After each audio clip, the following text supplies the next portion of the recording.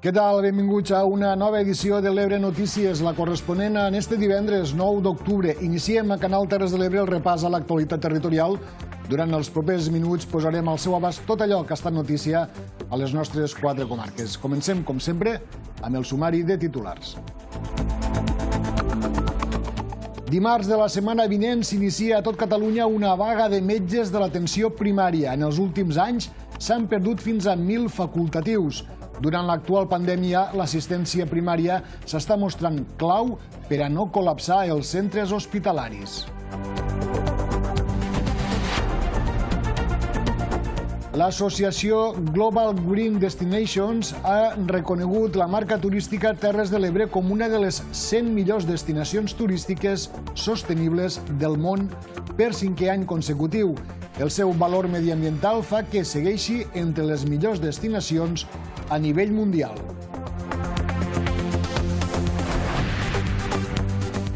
El diputat al Congrés i secretari d'Organització del Partit Demòcrata, Ferran Bel, ha presentat una proposició no de llei per construir a l'autopista AP7 un accés a la comarca del Montsià entre els municipis d'Amposta i de Masdenverge.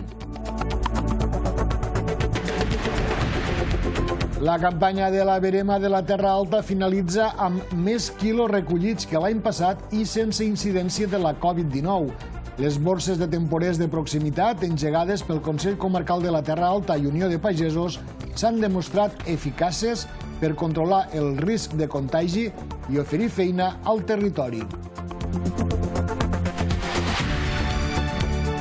I el programa de ràdio al dia Terres de l'Ebre que realitzen conjuntament set emissores municipals de les Terres de l'Ebre reben la menció de qualitat de la vintena edició dels Premis de Comunicació organitzats per Ràdio Associació de Catalunya.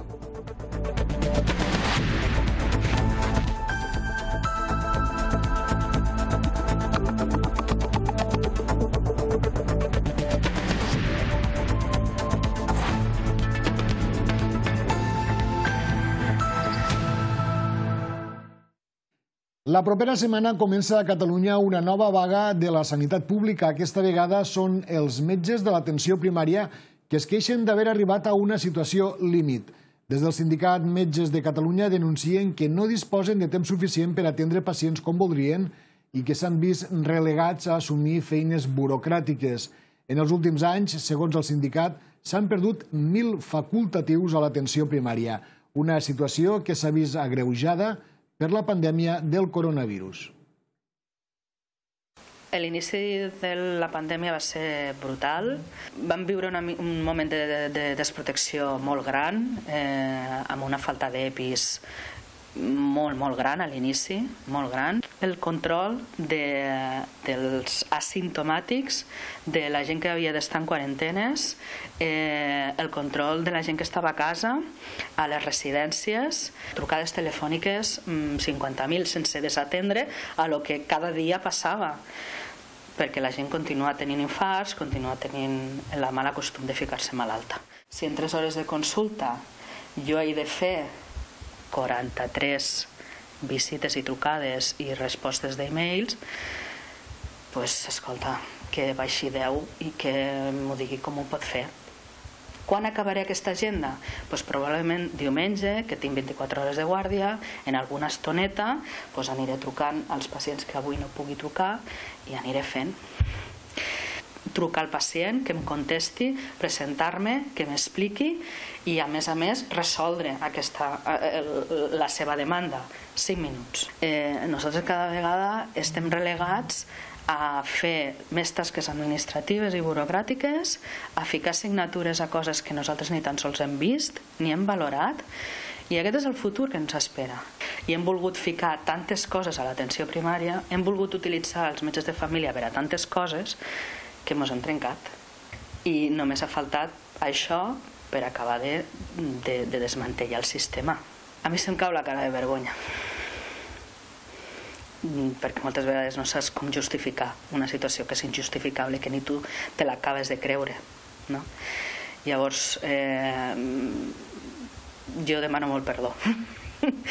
no me, no me queda una altra. Pues la solució probablement passa per eh, dotar-nos de personal eh, com toca, per complir l'acord de sortida de vaga de fa dos anys, reconèixer la, la nostra feina i valorar-la, això vol dir dotar les agendes d'espais per poder atendre la població com toca i per què no? Escolta, pagar-nos com toca, que som els pitjors pagats de tota Espanya i, de, i Espanya els pitjors pagats de tota Europa. La gent se'n va, i és que és normal que se'n vagi, perquè la situació és molt extrema. O sigui, arribar a casa tots els dies amb un nus a la gola, amb ganes de plorar perquè et veus impotent, perquè no pots donar-hi més, mm, això no es paga. No es paga. Parlem de la situació de la pandèmia sanitària a les nostres terres. Com acaben d'escoltar, els centres d'assistència primària i els centres de salut de les nostres terres juguen un paper clau en esta pandèmia per no col·lapsar els centres hospitalaris. Els professionals sanitaris estan preparats també ara per començar la campanya de la grip en els propers dies. En les darreres 24 hores s'han incrementat en 4 el nombre de pacients ingressats per Covid-19 a l'Hospital Verge de la Cinta. Actualment n'hi ha 13 i dues es troben a la unitat de cures intensives. Tot i aquest augment, la doctora de Medicina Preventiva de l'Hospital de Tortosa, Jessica Lorenzo, ha volgut donar un missatge de calma. Miedo, en principio no. Doy calma y tranquilidad a, a, mis, a mis compañeros profesionales y, y a la población. La verdad quisiera transmitir tranquilidad un dels factors que l'Hospital de Referència de les Terres de l'Ebre no entri en col·lapse és gràcies a la tasca dels centres d'atenció primària i els consultoris municipals, que han adoptat, a més a més, la tasca de realitzar les proves PCR, el rastreig dels casos positius i fer el seguiment dels pacients amb Covid-19 lleus o asimptomàtics. En primaria es como dice, es un punto de, de atención primaria, es un punto de, de contención y ahora mmm, mucho más, porque claro, a nivel de cribajes eh, poblacionales o, de, o, de, o de, del seguimiento de los pacientes crónicos, o sea, tienen un, una, una cartera que no ha parado en ningún momento y hemos añadido, igual que al hospital claramente, pero en primaria hay un, un, una masa grande de población eh, en tema de COVID. I sí, primària és un muro de contenció. Lorenzo ha indicat que, segons l'estudi de l'Organització Mundial de Salut, el 80% de la població mundial amb coronavirus té símptomes lleus o són asimptomàtics, el 15% té símptomes greus i el 5% tenen símptomes crítics.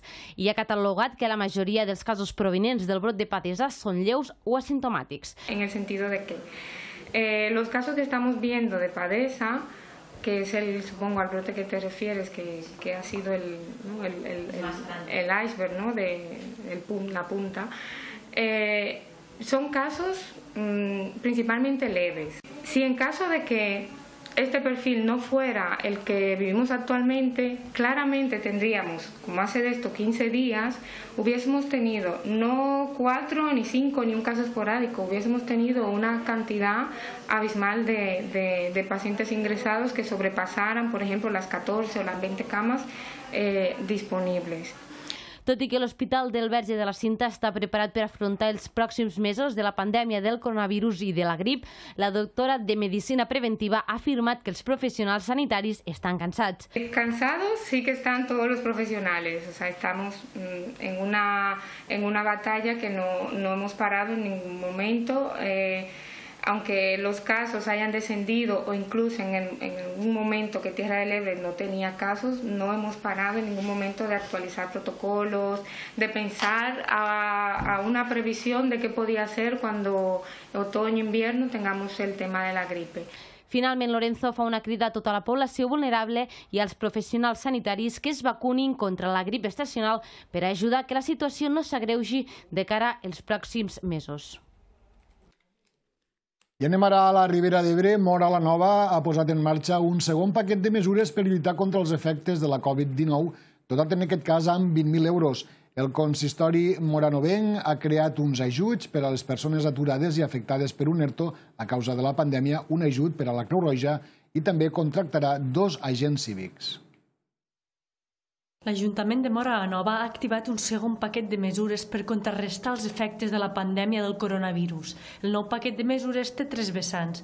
Per una banda, es contractaran dos agents cívics, que la seva tasca serà conscienciar la població sobre les mesures sanitàries preventives i també sobre el civisme en general. Per una altra banda, es destinaran 5.000 euros en ajuts a les persones que s'han quedat a l'atur o s'han vist afectades per un ERTO durant la pandèmia. A més, es donaran 2.500 euros a la Creu Roja per sufragar despeses socials sobrevingudes amb la crisi econòmica. L'Ajuntament de Moranova aquest any 2020, tot i ser un any molt complicat pel que fa als ingressos, eh, llar d'infants, escola d'arts i altres equipaments municipals, doncs som conscients de la greu crisi econòmica que va associada a la, al Covid-19, a la pandèmia mundial, i hem volgut fer un esforç per intentar pal·liar mitigar els efectes de, sobre l'economia. En total, aquest paquet de mesures és de més de 20.000 euros i s'obtindran de la partida destinada a les festes majors 2020, que finalment no es van poder celebrar a causa de la crisi sanitària. El ple de l'Ajuntament de Mora Nova va aprovar per unanimitat en el darrer ple extraordinari destinar aquests diners a ajudes socials. Al mes de març es va posar en marxa un primer paquet de mesures o pla de xoc amb 12.000 euros amb diferents ajudes a les empreses i comerços locals, com el retorn de les taxes d'escombraries i, d'ocupació de l'espai públic de terrasses de bars i restaurants, així com la creació d'una campanya per potenciar el comerç local. És hora ja de fer el repàs diari a la situació del coronavirus a les nostres terres. Per cert, Avui s'havien de saber els resultats del segon cribratge als treballadors de Padesa, però finalment el Departament de Salut encara no els ha fet públics. Per tant, anem a veure ja la pantalla de cada dia les darreres dades que coneixem segons les quals la regió sanitària de les Terres de l'Ebre sumaria este divendres 39 positius confirmats per prova PCR segons les dades facilitades pel Departament de Salut. Els casos confirmats acumulats són ja de 1.930 dels quals 1.732 ho han estat a través de proves PCR. Com poden veure, el risc de rebrot ha disminuït 43 punts en les últimes 24 hores i ara és de 258,64. La velocitat de propagació se situa en 0,87, inferior a la d'ahir, que era de 1.003. D'altra banda, el nombre de persones hospitalitzades ha augmentat en 4 respecte dijous i ara ja són 14, mentre que la unitat de cures intensives n'hi ha dos, una més, en relació a la jornada d'ahir. I abans de continuar, una notícia de darrera hora, segons la qual esta tarda s'ha produït un accident a l'autopista AP7 a l'altura de Camarles. Un turisme ha xocat contra la mitjana a l'altura del punt quilomètric 314 en direcció a València. De moment, es desconeixen l'estat dels, dels ocupants d'aquest vehicle. S'ha tallat un carril provocant un coll d'ampolla que ha generat fins a 13 quilòmetres de retencions.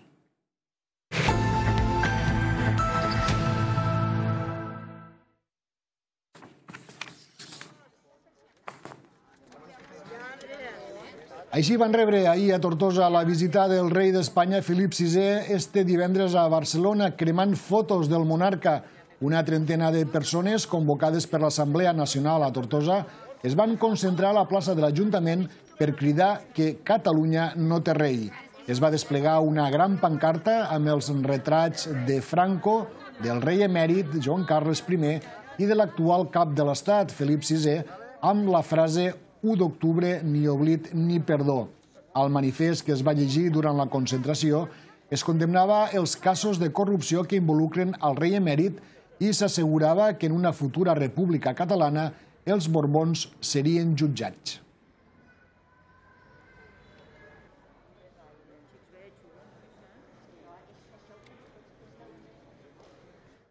I de la crònica política avui destaquem que el diputat del PDeCAT al Congrés dels Diputats, el doctor Ferran Bel, ha anunciat que presentarà una proposició no de llei perquè s'obrin dos nous accessos a l'AP7 a la comarca del Montsià. Bel ha dit que espera que el projecte es pugui incloure als pressupostos tot i que avisa que el govern de Pedro Sánchez encara no ha obert cap negociació. Dos nous accessos a l'autovia AP7 a la comarca del Montsià. És el que demanarà el Partit Demòcrata al Congrés a través d'una PNL que presentarà el diputat tortosí Ferran Bel. Molts alcaldes de la comarca ho havien demanat, donat que no hi ha cap accés entre els 27 quilòmetres que separen els dos antics peatges d'Ulldecona i d'Amposta i que, a més, estan fora d'aquests termes municipals. Diu Bel que ara que l'autopista torna a ser de gestió pública no hi hauria d'haver cap obstacle per incloure'ls als pressupostos generals. Situació que depèn exclusivament del, del Ministeri de, de Foment eh, o del Ministeri de Transports. No dic que sigui com fer una rotonda més de les que han fet al, a, a la 340 perquè és obvi que la inversió és algo, algo superior però tampoc no estem parlant d'una gran eh, obra ni una gran infraestructura. Vol dir que si el projecte es redactés eh, relativament ràpid la inversió també es podria fer. I uns pressupostos que, segons Bel, encara no ha començat a negociar el govern en minoria del PSOE i d'Unides Podem i adverteix que la moció de censura de Vox no pot ser una excusa per Pedro Sánchez. L'afectació sobre el calendari de pressupostos no, no s'irà, perquè de fet els pressupostos ja porten molt de retard eh, independentment de que hi hagi moció o no moció de, de Vox i això podia retardar un parell de dies. També us he de dir que, almenys per part del meu grup, i n'he parlat en altres i la situació és molt semblant eh, per part del govern eh, no se'ns ha ficat damunt la taula eh, absolutament res. El també secretari d'Organització del PDeCAT ha avançat que la formació iniciarà la setmana vinent el procés de primàries per triar un candidat o candidata a la presidència de la Generalitat en unes eleccions on competiran, ara sí, amb Junts per Catalunya. I encara de la crònica política, el PSC de les Terres de l'Ebre exigeix al govern de la Generalitat la reactivació i actualització del Pla Estratègic de les Terres de l'Ebre per tal de marcar el full de ruta per al desenvolupament econòmic dels propers anys. Demanen també que el govern de la Generalitat recupere el volum d'inversions que es va assolir durant l'època del tripartit.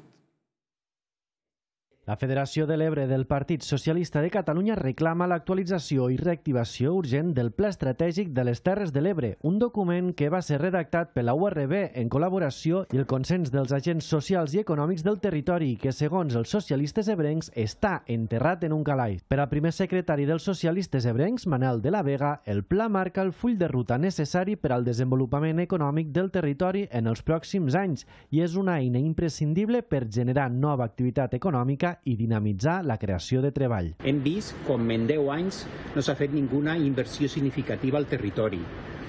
Han hagut retallades tant en salut com en educació, com també en polítiques industrials i en infraestructures. És per això que demanem que d'una vegada el govern de la Generalitat fique damunt de la taula este pla, s'actualitzi si fa falta i s'apliqui a tot el territori. No podem esperar més. Les Terres de l'Ebre hem perdut població, hem perdut oportunitats econòmiques i hem perdut molts de llocs de treball. Necessitem una actuació clara i definitiva per part del govern de la Generalitat. Per això demanem la reactivació del Pla Estratègic de les Terres de l'Ebre. Per a De la Vega, si el pla era important quan es va redactar, ara ja és vital, donat el context actual provocat per la pandèmia. Així, hauria de permetre l'aprofitament de les sinergies que obre l'economia del coneixement. En este sentit, els socialistes també reclamen que es recupere el volum d'inversions que hi havia en temps del tripartit.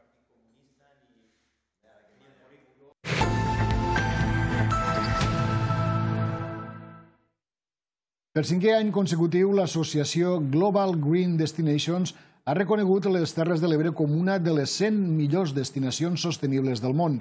Per part del Patronat de Turisme de la Diputació de Tarragona, la seva presidenta, la tortosina Meritxell Roger, ha valorat molt positivament este reconeixement.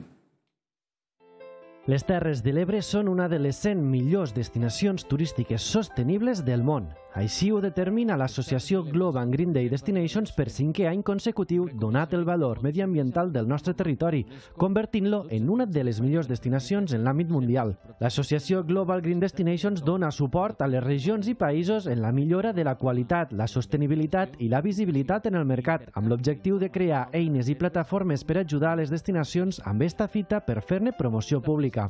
Els guardons a les 100 millors destinacions del món precisament tenen l'objectiu d'enfortir i el perfil d'estos indrets envers el turisme responsable i verd. Molt satisfets d'aquest reconeixement per cinquè any consecutiu que ens fa continuar treballant amb la línia del que hem estat fent des dels municipis i des de la Diputació per tal de potenciar el nostre patrimoni natural amb un indret que som territori de la biosfera i per tant el que volem és potenciar aquest turisme sostenible i aquest reconeixement el que fa és ajudar-nos per tal de continuar amb aquesta línia. El Patronat de Turisme de la Diputació de Tarragona participa estos dies als Global Green Destinations Days, un congrés per internet on les destinacions especialitzades en turisme sostenible debaten i posen en comú experiències d'èxit arreu del món. A més, la destinació Terres de l'Ebre, arran del seu reconeixement, té presència en la guia que impulsa l'associació organitzadora. I finalment, este 2020, la campanya de la verema de la Terra Alta ha augmentat la producció respecte de l'any passat. El procés de collita del raïm no ha registrat contagis per coronavirus, tot i que el fong del mildiu n'ha afectat la recolecció. L'èxit, segons sindicats, govern i administracions locals, es deu a la coordinació entre tots estos agents. La campanya de la Verema 2020 a la Terra Alta finalitza amb resultats satisfactoris. Aquesta ha estat la valoració que n'han fet aquest divendres a Batea el Consell Comarcal de la Terra Alta, Unió de Pagesos i Serveis Territorials d'Agricultura. La pandèmia sanitària i el fong mildiu no han pogut frenar la recolecta, en guany superior a la de l'any passat i una qualitat de la vinya excel·lent tot i que hem tingut el problema del mildium que, que, que ha afectat més a uns jocs que en altres, la campanya de la Verema enguany ha estat en, en producció molt similar, inclús pot ser una mica més alta que la de l'any passat. Vale? Per tant, és una molt bona notícia i també me confirmen que la qualitat del raïm ha sigut molt bona. Enguany s'esperava una producció estel·lar, una producció espectacular, el medium l'ha rebaixat, però tot i la presència del Mildium estem a nivells molt similars o potser una mica superiors als de l'any passat. L'èxit esdevé gràcies a la coordinació, segons expliquen, dels agents implicats, Unió de Pagesos, Departament de Salut, Treball i Agricultura i el sector vinícola de la Terra Alta. N'és un exemple l'aposta per temporers del territori per tal de frenar contagis que han permès contractar 80 treballadors de la comarca. Des del Consell i des de des del Sindicat Unió de Pagesos vam ajuntar les dues borses de treball, vam ofertar les dues borses a la vegada per a que justament això no hi haguessin temporers externs i es pogués cobrir tota la demanda del món de la pagesia en gent de, del territori propera que un cop acabada la feina se'n pogués anar cap a casa seva.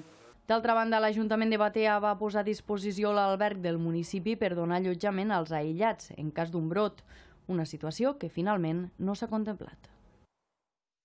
I tornem ara cap a la Ribera d'Ebre, concretament a Miravet, on avui ha començat la primera edició dels maridatges de Berema entre la restauració d'aquesta comarca de la Ribera d'Ebre, en aquest cas els cellers de la denominació d'origen Tarragona.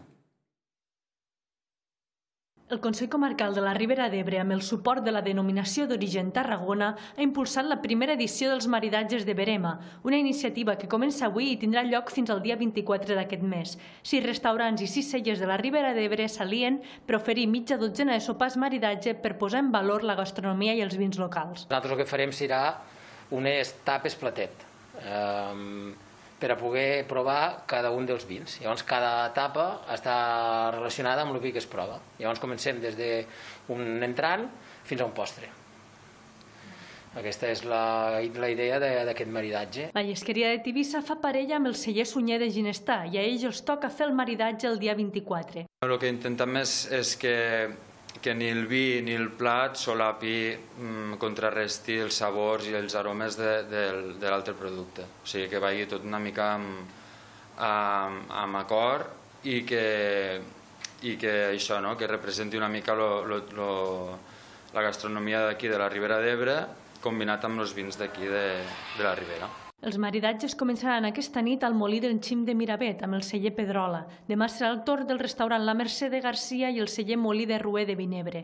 El sindicat de Ginestà i Biopaumera de Rasquera el dia 16, la flixeria de Flix i la farinera Vins de Rasquera el 17, la birreria de Mora d'Ebre i la cooperativa de Benissanet el dia 23 d'octubre i es finalitza amb la taverna La Llesqueria de Tivissa i el celler Sunyer el dia 24 d'octubre. Per participar-hi s'haurà de reservar plaça prèviament trucant al restaurant corresponent.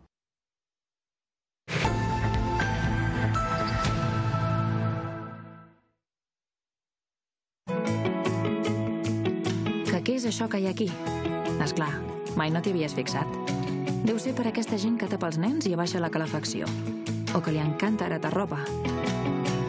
que sempre espera que el rentaplats estigui ple per posar-lo en marxa. Gent que disposa de quilòmetres d'autonomia omplint el dipòsit per gairebé la meitat de preu. Tu no ets pas així, oi? O sí? Ets de Repsol Autogàs més del que et penses. En la revisió que fem cada dia a les xarxes socials, avui tornem a fer-nos ressò de queixes per incivisme.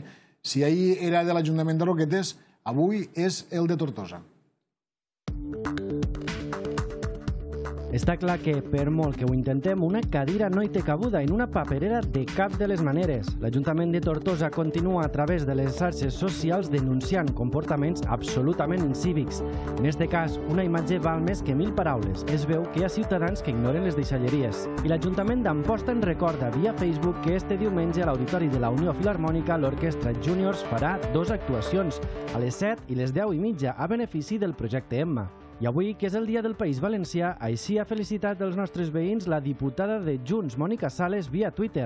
Germans de llengua, de cultura, de llibertats. Des de les Terres de l'Ebre, terra de Cruïlla, al bel mig dels països catalans. Feliç 9 d'octubre, Diada del País Valencià. Celebrem-ho amb Quico Celio i Pep Botifarra.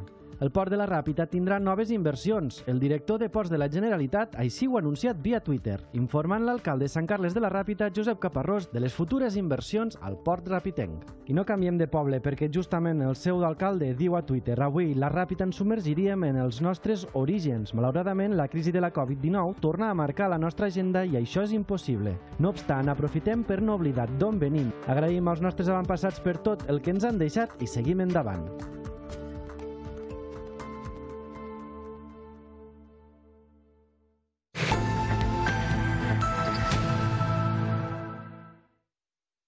El magazín informatiu de ràdio El Dia Terres de l'Ebre, que produeixen de manera conjunta set emissores municipals de ràdio, Ràdio Joventut, de Masdenverge, la Plana Ràdio de Santa Bàrbara, la, Carra, la Cala Ràdio de la Mella de Mar, Ràdio Delta de Deltebre, Ràdio Mora la Nova, Amposta Ràdio i Ràdio Tortosa, va rebre ahir la menció de qualitat en els 20 premis de ràdio que organitza anualment Ràdio Associació de Catalunya.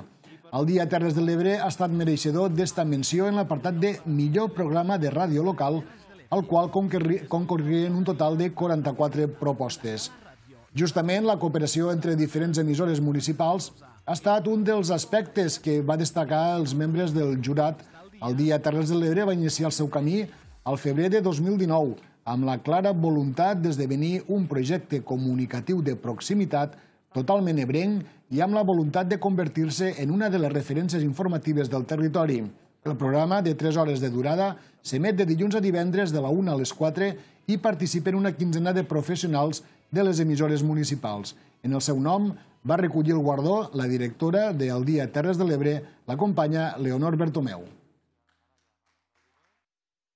És un projecte també que ajuda a fer territori, que ajuda a cohesionar territorialment les Terres de l'Ebre, des de Tortosa a Amposta, passant per Deltebre, l'Ametlla de Mar, Santa Bàrbara, Mas d'Enverge i Mora la Nova, amb una cobertura informativa territorial que ara mateix no té cap altre mitjà de comunicació al territori.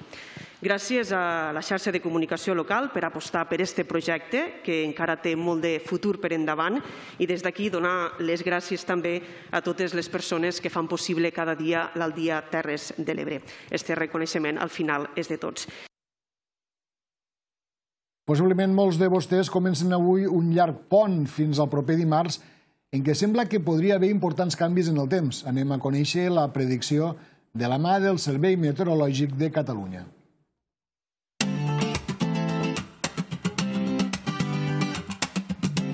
Arròs Montsià patrocina aquest espai.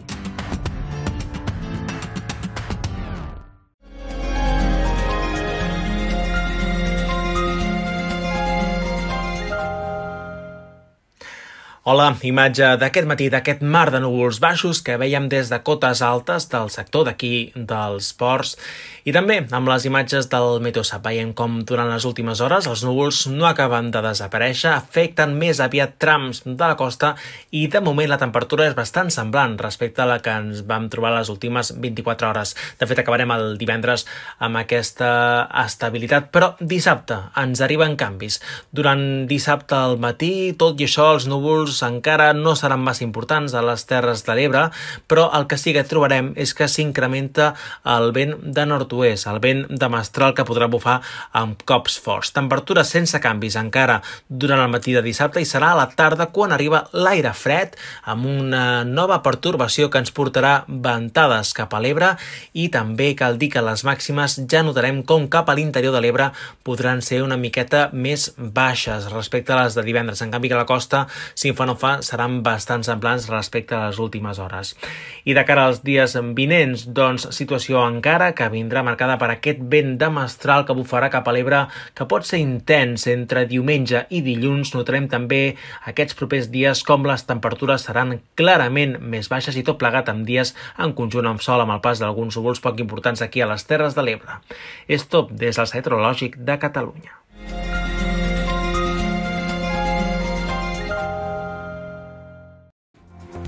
I abans del punt i final voldríem dir-los que a continuació tindran tota la informació esportiva de la mà d'Andreu Miralles i tot l'esport. I també que al programa El Mirador, avui Josep Maria Arassa i els seus convidats abordaran la qüestió de la pandèmia del coronavirus a les nostres terres, en especial atenció en este brot de l'empresa Padesa. El recomanem que no se'l perdin. Ara sí, res més de la nostra part, només en resta desitjar-los que acaben de passar una bona jornada i un bon cap de setmana. A reveure.